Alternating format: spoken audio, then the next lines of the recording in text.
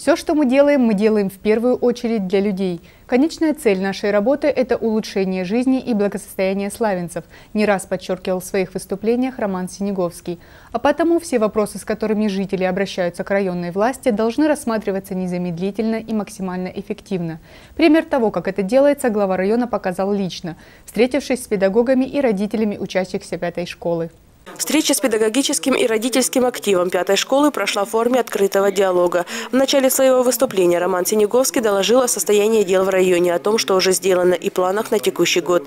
Несмотря на то, что 2020 год из-за пандемии коронавируса был сложным, все показатели социально-экономического развития удалось выполнить. Муниципалитет в полном объеме реализовал 10 краевых программ и главные показатели четырех национальных проектов – образование, здравоохранение, демография, жилье и городская среда. Были построены 11 совершенно совершенно новых социально значимых объектов. Проведен текущий капитальный ремонт порядка 50 социальных учреждений, отремонтировано 130 километров дорог и тротуаров. Планы на этот год не менее масштабные. Уже начат ремонт хирургического и травматологического отделений. Приступили к строительству центра единоборств на городском стадионе. Обсуждается проект реконструкции набережной, ремонта дороги на Кучугуры и строительство нового детского сада. Уже нам подписали 100 миллионов рублей в этом году на строительство нового садика на 320 мест. Этот сад будет строиться со стороны казачьей прямо возле школы. Здесь мы оставили место, деньги уже подтвердили, торги проведем, и вот на 100 миллионов, э, общая стоимость 360 миллионов рублей, но мы обязаны в этом году эти 100 миллионов, эту третью часть выполнить и э, начать строительство этого объекта. Помимо строительства крупных объектов, есть вопросы, которые необходимо решать в ежедневном режиме. И, как правило, именно они являются наиболее проблемными и волнуют жителей в первую очередь. Основные вопросы, которые задают, это дороги, это тротуары, это уличное освещение. Мы очень плотно поработали, нас очень сильно топило. Ну, город, вы знаете, он находится в плавневой зоне и постоянно, как дождь пойдет, то там топит, то там топит. То... Сейчас, честно вам скажу, какие-то точечные вопросы остались, потому что очень много сделали гидромелиоративных работ, построили значит, ливневых канализаций, восстановили насосные станции, которые в городе есть. И эту работу я тоже считаю очень неплохо мы поработали. Сделано много, но проблемных вопросов также остается еще много. И здесь важно работать в тесном сотрудничестве с населением, слушать и обсуждать поступающие от жителей предложения. Только так можно увидеть реальное состояние дел, наметить пути решения острых вопросов, уверен Роман Синеговский. Вообще задача была больше вас послушать, поговорить, может быть, что-то подскажете, на что-то э, значит, э, заострите наше внимание, где-то прокритикуете.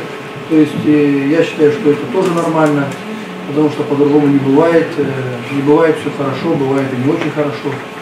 Поэтому если какие-то вопросы есть или предложения, с удовольствием мы вас послушаем, запишем и постараемся, постараемся значит, помочь. Предложений и вопросов поступило много, и касались они самых разных тем. Жители высказали пожелание возобновить зимой работу ледового катка, а также установить большое колесо обозрения в парке аттракционов. Глава района пояснил, что это дорогостоящие объекты, и если найдется инвестор, который захочет заняться этими вопросами, администрация посодействует в реализации его планов.